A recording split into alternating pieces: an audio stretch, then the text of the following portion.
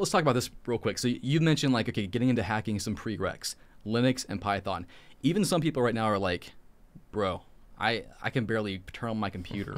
like what what what do I need before that? Would you say like a a help desk level of knowledge would be good enough to start taking that journey? What what do you, what do you think someone needs? Ooh. An- another good uh, conversation there. Oh, we're gonna I, hit you up. We're gonna we're gonna knock you out here. so I know there is a approach to getting into infosec or getting into cybersecurity, right? Um, and some folks say like, hey, you know, I, I, I climbed the ladder. I started at this help desk job. I got into this IT network engineer, and then I got into this hey junior penetration tester role, and now I'm like top dog. Now I'm running the team. Uh, yes, that is that is a way to do it. That is absolutely a path, and I agree, and I honor and respect that. At the same time, I think there is a lot of value in you going after the things that you want to do and you're interested in.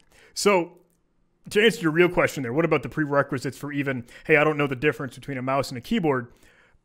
Google, yeah, as you mentioned, and knowing how to use a computer, knowing how to navigate, knowing how to use those keyboard shortcuts to make your life easier, knowing how to I, I said Google and research, but I don't know, knowing the parts of the computer, knowing networking, knowing, hey, this is an IP address, this is a subnet, this is a blah, blah, blah.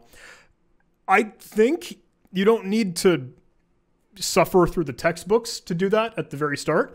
Uh, I think if you are just really fascinated and interested in ethical hacking, then that knowledge will come. It'll, it'll come slowly if you don't get that, hey, sit through the textbooks and drone through the lectures but mm-hmm. it will happen.